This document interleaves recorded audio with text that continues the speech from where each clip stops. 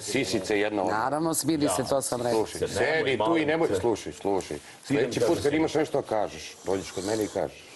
Razumiješ? Pa rekao ti. Pa ja sam ti rekao, Nemoj da svaki dan, nisam Pa vidi, i zabole me kurac i za tebe i za nju. Odmah ti kažem. Nemoj, molim. A ja ću sa njom da budem kakav ja hoću. Ne možeš. Pa Od danas ne možeš. Ma majke. E pa vidjet ćeš. I? Ja, Šta ćemo sad? Ja, ja sam gazda za tebe. Kako? Pa ti? Ja sam boss. Ti si Isus. Krist. For you, I am boss for you. Mogu samo da ti se napišam u onu kantu i ti da onu vodu da ideš da prosipaš.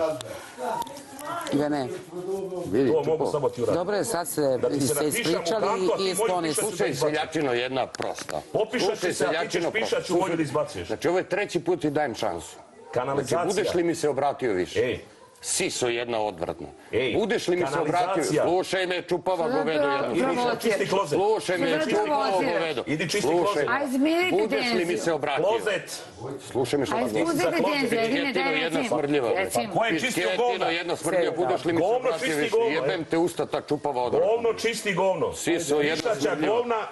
Jebem te usta ta čupava, bre, na planinu se vrati, majke ti ga nabijem odvratne one. pa ti si Na planinu ću te vratim ja budalo jedna reći da siđeš više s njim. Čisti govna. Siso jedna. Govna. Jebem te usta čupava odvratna ona. Idi čisti govna. Jebem te ko ovna. Oj, oven je kastriran, a on nije. Samo je tu u tome razlika.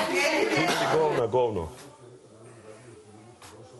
Recimo, oven je kastriran, a ti nisi. To je razlika između ovna i bika. Beogradski frajer, kaže, ja sam. On može samo levo bik da bude, pošto je ovan kastriran.